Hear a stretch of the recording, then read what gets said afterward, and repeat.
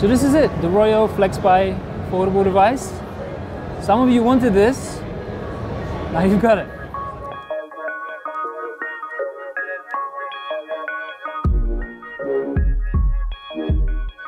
This is the very first announced and distributed foldable phone. They call it a phone, to me it's a foldable tablet because this is the thing that you do. And just as you're about to close it and it feels like it's about to snap broken, it snaps into place. In, in the case of this device actually, the funny thing is it turns into two phones.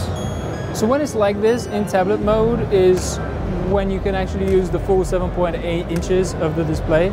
It's a 4x3 aspect ratio 308 pixels per inch, 1920 by 1440 resolution. You got speakers up at the top, power button, volume button surrounding a fingerprint sensor, and then basically nothing. USB-C charging port, no headphone jack, and these are the rubber bits which create the hinge.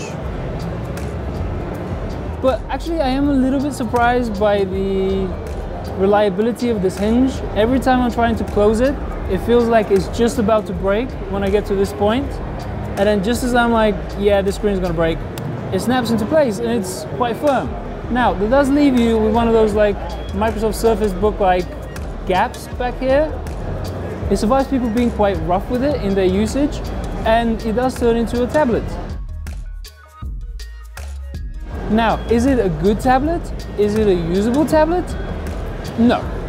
Uh, is it a good phone? Is it a usable phone? No. But, okay, Royole is a company that was literally founded for the sake of making flexible displays. Uh, the founders of the company, the Stanford graduates, they founded in 2013 and they came up with a 0.1 millimeter thick flexible display film. Out here at the CES 2019 booth, they have it on uh, handbags, on hats, on t-shirts. So it's cool as far as technology goes, but in terms of implementation, in terms of the way that it's being done, this thing is so far from finished. The camera is terrible. The interface is terrible. When I'm trying to just pivot from portrait orientation into landscape, sometimes it works, most of the time it doesn't. When I'm trying to switch it into phone mode, just the way that you naturally handle it, your fingers are all over the screen, so you're triggering things you don't want to be triggering. At the moment, I'm looking at it and it's upside down. I don't know why it's upside down.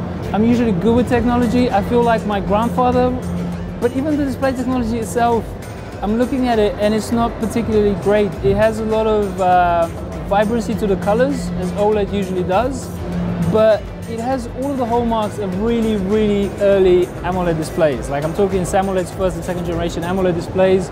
That means there's banding in white sections. The lighting seems to be inconsistent. I'm seeing like these dark patches in the middle of the display.